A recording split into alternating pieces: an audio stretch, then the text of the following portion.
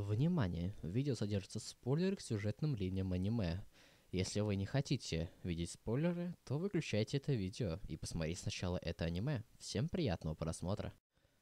Ну что ж, ребят, всем привет! С вами снова Ситер Делис, и на этот раз тройная рецензия на аниме, то есть три рецензии в одном видео. И, э, если честно, все три аниме, которые посмотрел за последние вот эти два дня, они шедевральны. Все шедевральны по-своему. В каждом из этих аниме есть своя э, изюминка, так скажем. И поэтому я буду, собственно, сейчас вот говори, рассказывать об этих аниме и говорить им оценку, собственно, снизу вверх по моему топу. И, собственно, начинает, ну, ну начинает, начинает свой рассказ с аниме по названием «Когда успокоится море». А, во-первых, сразу хочу сказать, как в дисклеймере было сказано, то, что в видео будут содержаться спойлеры к сюжетным линиям, так что, если вы еще не смотрели, то советую посмотреть это аниме. Ну что ж, когда успокоится море, очень интересное аниме 2013 года, и альтернативное название это «Безоблачное завтра». Э, интересное, очень интересное аниме о, о жизни э, двух видов людей. Это э, собственно, люди как обычные, и те люди, из которых, собственно, произошли люди, которые как обычные, это морские люди, которые живут под водой, э, которых создал морской, морской владыка, которые покрыты, э, собственно, специальной такой пленкой, скажем так, покровом, специальным покровом, они могут, собственно, дышать под водой и терпят высокие, ой, низкие температуры очень. Что терпят низкие температуры, и, собственно, низкое дав... и высокое давление, конечно же, аж на глубине, собственно, на дне морском живут.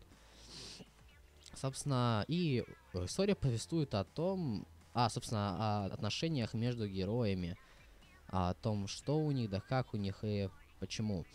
И, собственно, э, довольно интересно смотреть за историями, истории этих персонажей, э, интересно смотреть за тем, как изменяется, во-первых, главный герой, как изменяются другие персонажи. То есть все очень интересно и главное интригующее. Плюс э, момент, когда должно быть как бы разделиться вообще на два сезона. Делился, все это происходит как в одно, в одном сезоне, но сейчас я бы разделил на два сезона это аниме.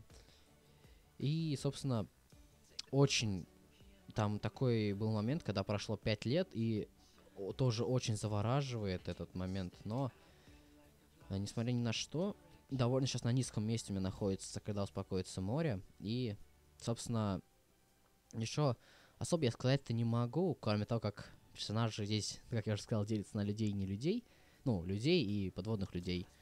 Причем, кстати, подводные люди, они ничем не отличаются, кроме как аквамариновых глаз. То есть у обычных людей они коричневые, а у подводных они аквамариновые, плюс и ресницы аквамариновые.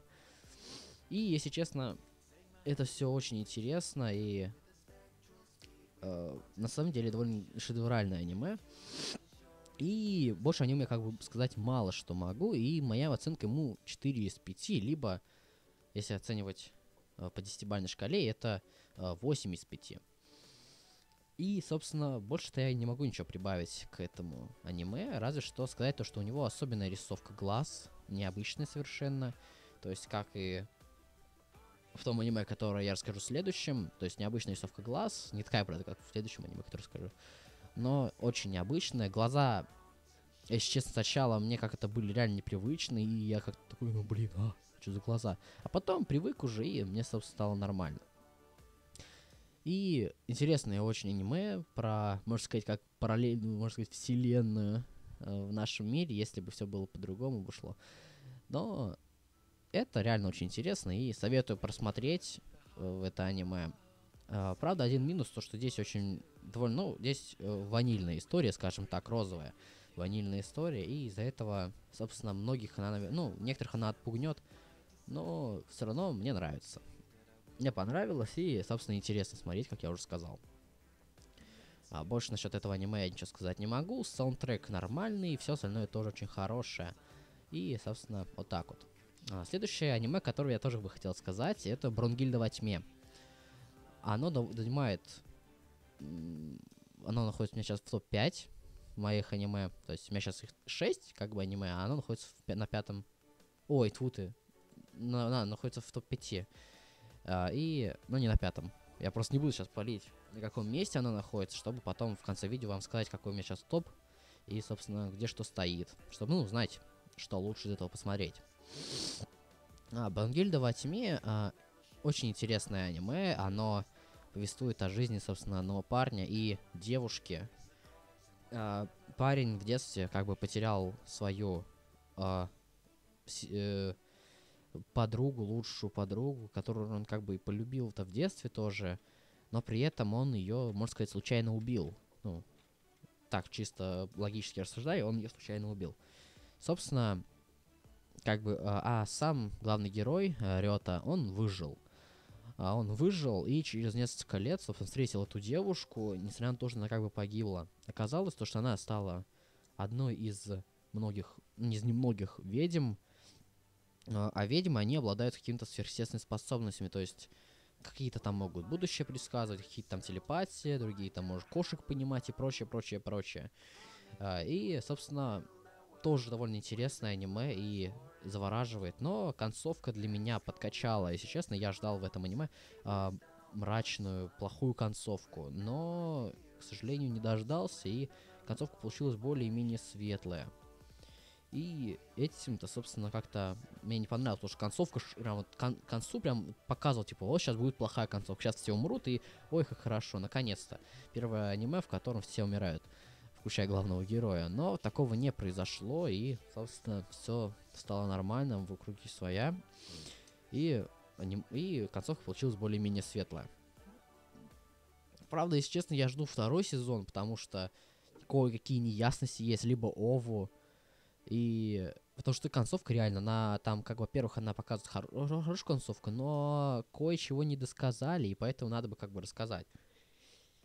И, собственно, в этом-то вся прелесть, то что как бы я жду второй сезон, либо Ову, который, собственно, завершит все. В этом аниме, кстати, 13, или считая, если еще СПшку, э, 14 серий. И все они очень интересные и завораживающие. Я посмотрел, собственно, за один день. И, собственно, в этот же день начал смотреть, когда успокоится море. И, как я уже сказал, Бунгильде э, очень странная, как сказал уже, рисовка глаз. Еще когда говорил про когда успокоится море. И она реально, то есть, очень странная, то есть не как в остальных аниме. И когда смотришь, ко- когда видишь чьи-то глаза, то кажется, как будто этот человек сумасшедший.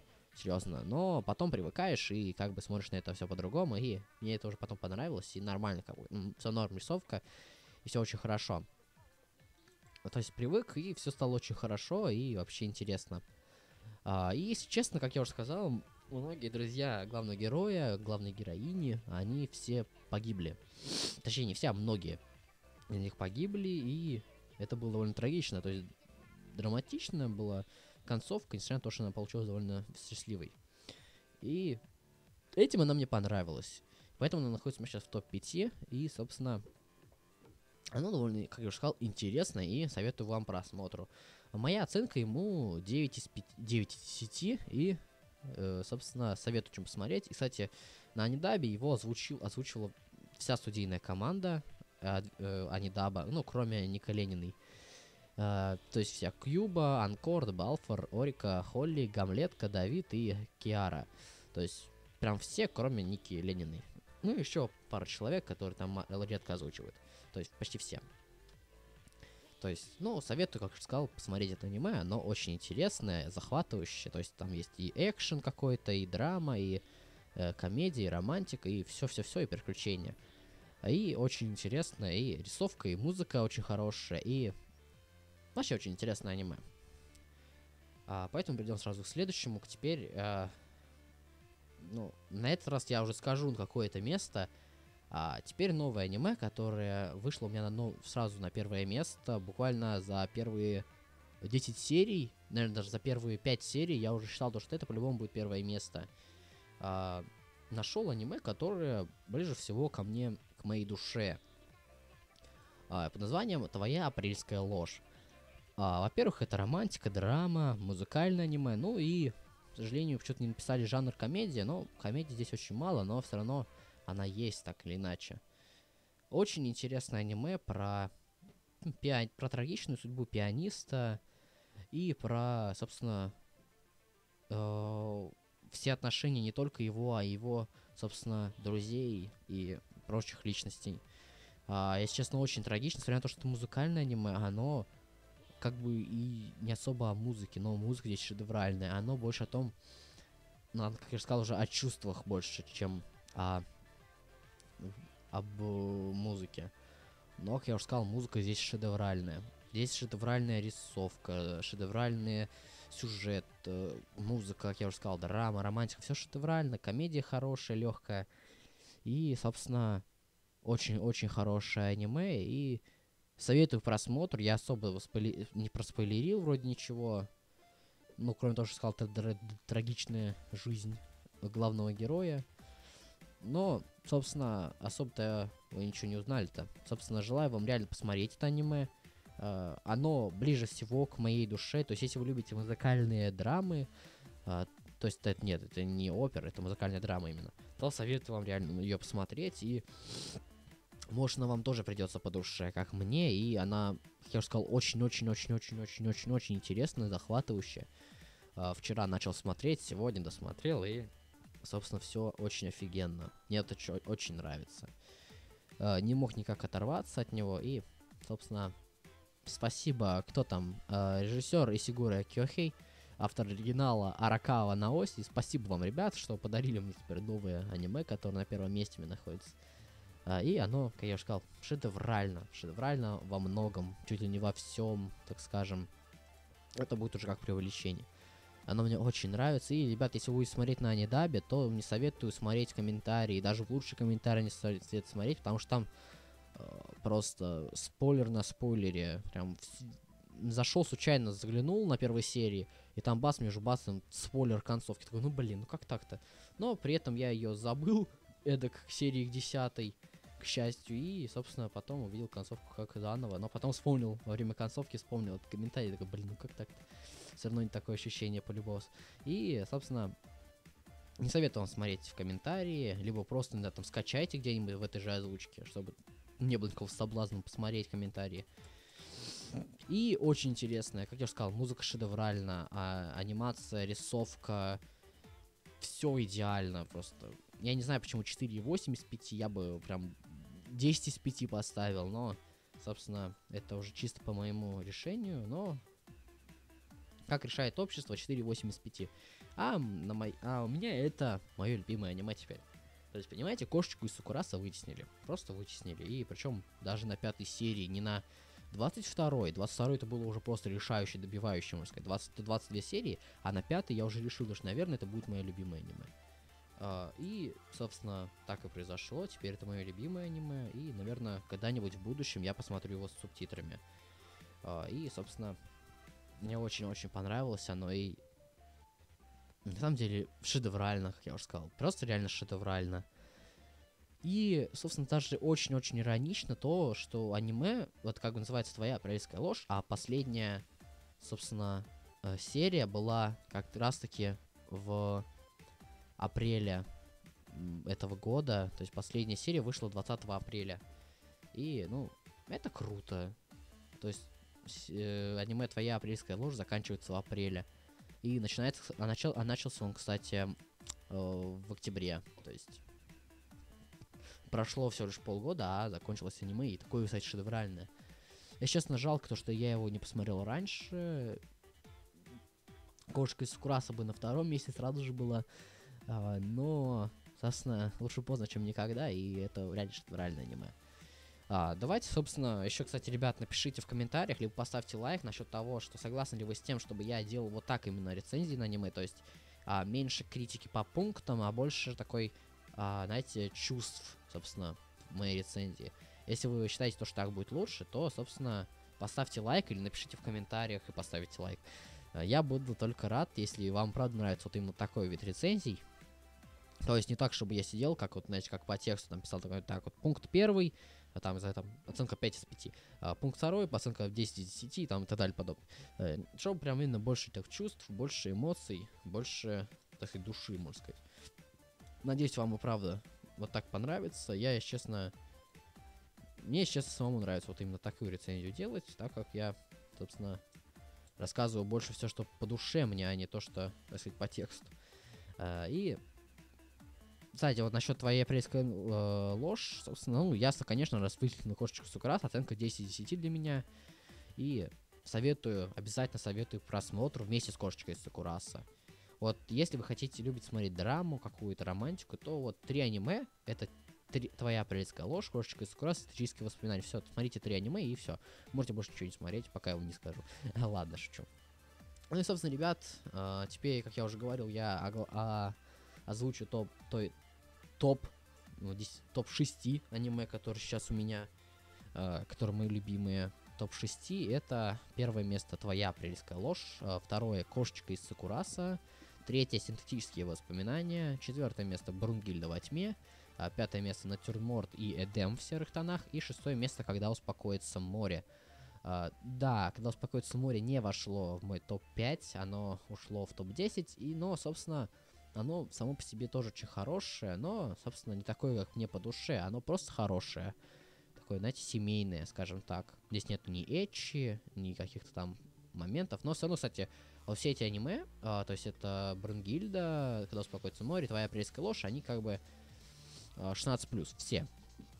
И, и еще в аниме Твоя апрельская ложь и Брунгильда во тьме есть кровь. Но в Брунгильде во тьме ее куда больше. Ну там как бы не кровь, там именно насилие, скажем так. Там крови-то не так-то много. Ну да, конечно, не так-то много. А, но как бы советую вам посмотреть все эти аниме, которые я озвучил, все эти шесть аниме, которые я посмотрел за последние, за последнюю неделю. А, Несмотря на то, что я неделю назад как раз таки начал смотреть, собственно, аниме, вернулся в эту стезю, которую когда-то я любил, и Наруто, боже. Ну ладно, затянул уже слишком сильно свой выпуск. На этом я, ребят, закончу. Спасибо за то, что посмотрели. Ставьте лайки. А, если вы согласны с тем, чтобы я делал так рецензии. С вами был Сир Делис. Всем удачи, всем пока.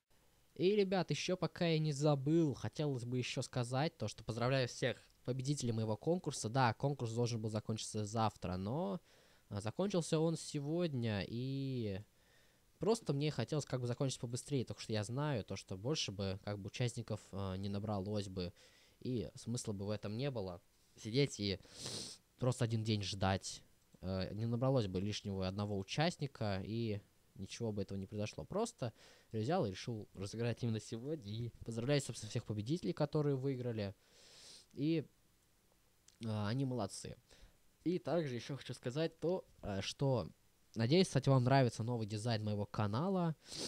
И если он вам нравится, поставьте лайк. Еще один, два, три лайка поставьте, комментарий напишите то, что вам нравится. И, собственно, с вами был я, Сердалис. Всем удачи, всем bye-bye.